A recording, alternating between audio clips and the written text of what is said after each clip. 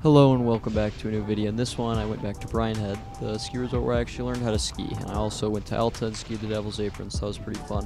But for the Brian Head segment, I was in my cinematic mode on my GoPro, which uses a narrower lens, so it really doesn't look that good.